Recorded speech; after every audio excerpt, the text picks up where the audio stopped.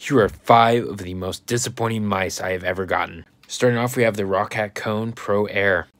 The main issues I had with this mouse, of course, were the paint, the clicks, the side buttons, and the fact that it didn't actually come with a USB holder for the dongle. Next up was the Ninjitsu Origin 1X.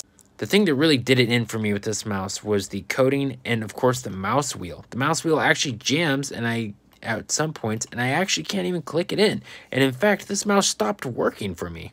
The next up is the Roccat Kain something, eh, like 200.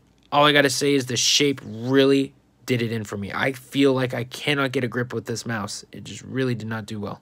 Next up is the GX Air Wireless, and I gotta say, this became a disappointment over time with use. Just how fast the mouse degraded in quality was insane to me.